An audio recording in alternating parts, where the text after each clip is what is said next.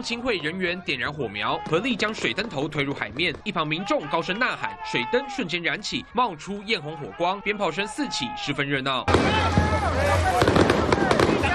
各宗亲会一家接着一家陆续释放水灯，水灯越烧越旺，啪子作响，逐渐被橘黄色烈焰吞噬，一团一团的火球在海上随波晃荡，场面好壮观。现场还放起长达两百六十秒的烟火，将气氛炒热到最高点。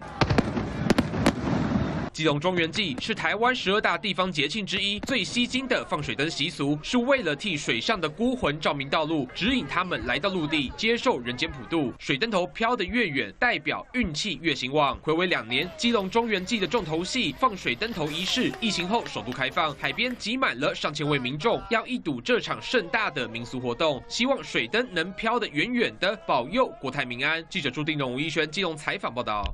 我是陈怡蓉，播报工作就像是突发新闻，你永远不会知道下一秒会发生什么事。而棚内的第一线总是充满刺激与挑战。